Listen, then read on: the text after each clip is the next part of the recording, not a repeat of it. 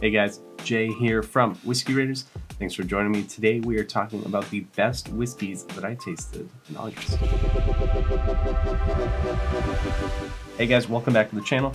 Uh, Jay, better known as Take, as always for WhiskeyRaiders.com. It is my job to drink whiskey uh, all month long. I'm a professional spirits critic for WhiskeyRaiders.com as well as Rum Raiders, Gin Raiders, Tequila Raiders. But today it is all about the whiskey. Here are the eight whiskeys that I tried that were the best of the month in August out of the 30 or so plus that we reviewed. So the first is no surprise, is Master's Keep Voyage. I did a whole video about this whiskey. Uh, this is a really cool bottling. It is a 10 year bourbon that is finished in 14 year rum casks.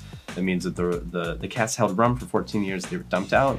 They were um, done by Appleton Estate down in Jamaica, and then those barrels were shipped up to Kentucky, where the bourbon was finished for an undisclosed period of time. This is a cool collaboration between the Russells and Joy Spence down at Appleton. Both companies are owned by Campari. I did a full video on it. I'll encourage you to check it out.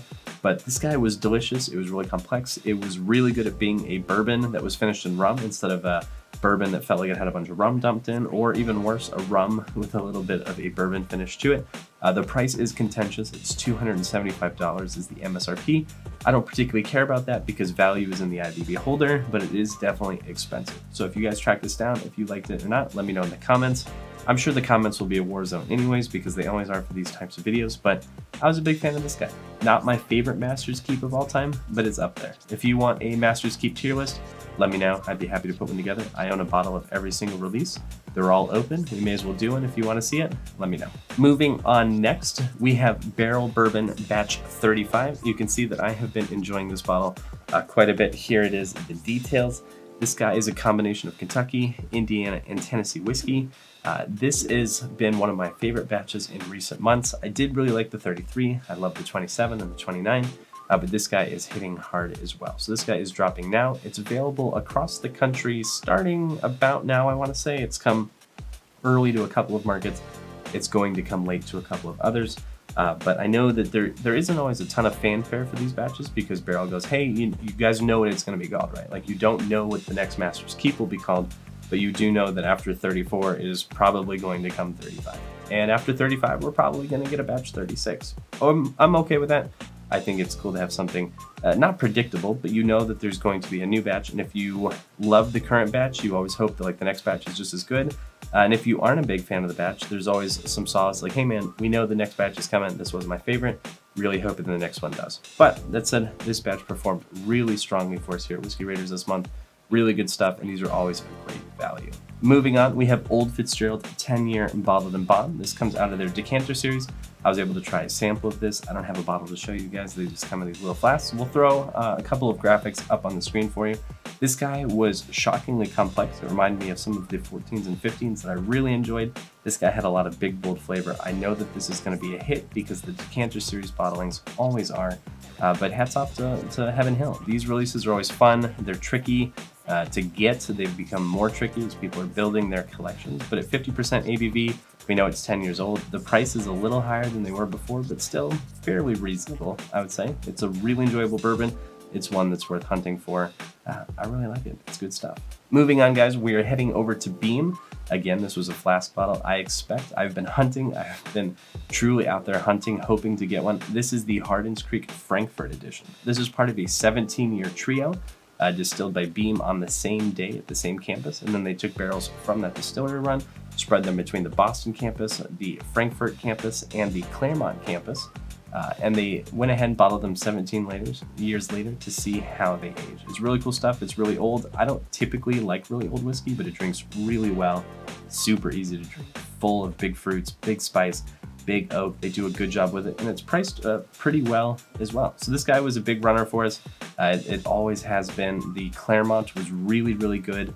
I'm looking forward to reviewing the Boston soon. It's good stuff. So if you're hunting for it, let me know. I think it's one of the best values for really old whiskey, and I, I I'm not convinced it's going to be the oldest that we see from Beam, but it's definitely it's up there. This is this is an old release. All right, guys, moving to a producer you may not have heard of. This is 13th Colony uh, their double oaked cask strength release. I love this one. It's it's dark as night. It's really cool. I did a I did a first taste tasting. You can check it out. Uh, I did a first taste. My tasting backed it up. It was a big oaky guys, full of cola, full of Tootsie Pop. The value on it, not the greatest, but the proof is high. The whiskey tastes amazing. The bottle is super funky. It's just a cool release for your shelf. It's not as transparent as I would hope to be, uh, but I do call that out in my video. But all things aside, the quality of the whiskey is there. It is super good, super rich. If you're if you're kind of tired of trying to get the same old same old from the same big heritage guys, it's a really cool release to kind of dig into a new flavor profile from a new, uh, quite frankly, a new player in the game. Moving over to Scotland, we do have Laphroaig and their Cairdeas. This is the 2023 Cairdeas release. It's a combination of white port and Madeira. I love it. It's at 52.3 ABV, uh, so it's really drinkable, but it's still stronger than the majority of the Cairdeas uh, you're to see out there, let alone uh, most Laphroaig in general, except for the cask strength 25, 30, 32, those really old releases. This guy was full of fruit, full of big like grapiness and lemon bar, uh, as well as a really nice slap of peat. These continue to be cool, and what I love is that even a couple weeks after I bought my bottle here in Wisconsin, uh, they're still on the shelf. So these used to be kind of a rat race. They used to, used to be kind of a bloodbath to get a bottle, uh, but overall, you can find them easier than ever. Moving back, I don't want to say back to America because this is a interesting bottle. It's the Keeper's Heart Irish and American. It's a single barrel picked by Reserve Bar, and it was actually our August 2023 Bottle of the Month Club bottle here at Whiskey Raiders. If you're curious about having awesome whiskey show up at your door every month, you can check out whiskeyraiders.com slash bottle of the month uh, to get more information about our Bottle of the Month Club. But this was a blend of Irish whiskey and American whiskey. It was blended,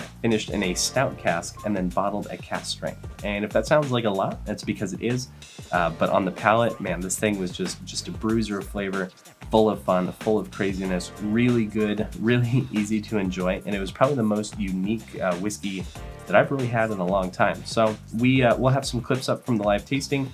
We do an exclusive tasting with all the subscribers of the Bottle of the Month Club. But if you want something new and interesting, that is definitely a bottle to check out. And it's something you can get much easier than that 13th colony we were talking about a few minutes ago. And to bring this series home, this is the bottle. This was the crown jewel of the month. This was something that was just super incredible. This was the Four Roses 135th anniversary small batch limited edition. I was able to get just a taste thanks to Four Roses, and thank you for sending that over. Uh, honestly, it was just a crazy good whiskey. The four components are crazy between 12, 14, 16, 25 years old. There's so much going on. Uh, this this rightfully gained a 9 out of 10. It's about as close to perfect as you can get before you get that, that 10 out of 10, kind of that heralded spot. But this is a whiskey that blew my mind. I thought it was going to be too oaky. It was full of fruit and just beautiful tannin and beautiful dessert notes. And really a hats off to Brent Elliott for that guy. So that crowns up the best whiskey of the month by far.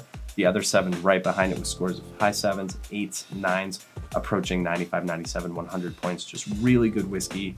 And yeah, so that was the best whiskey that we drank in August. I love doing this series because it lets me kind of highlight my favorite things. Oftentimes it can be, you know, it's kind of interesting when you have to taste this many whiskeys a month, you forget what the true standouts are until you look back through all of your scores for the month and it's like, oh man, I love that bottle. And man, this was a killer bottle and bottles like these just stand out. So if you're looking for an interesting whiskey this fall, go ahead and hunt that voyage, look for that batch 35. If you love Scotch, you gotta check out the Cairdeas. And if you just want something interesting, 13th Colony, uh, Keeper's Heart, they're doing some great stuff. And let me know, first and foremost, if you are trying to get that Four Roses, because that bottle was great. So in the description, I will link a video. If we've done a video on any of these bottles, I do try and do a dedicated tasting of everything that's reaching really high in our scorecards or if it's just interesting, a cool first look. But until then, guys, you can go ahead and check out the videos in the description. You can find more from me at whiskeyraiders.com. My name is Jay, better known as Take, and I will see you guys here on the channel for the next Whiskey Raiders video.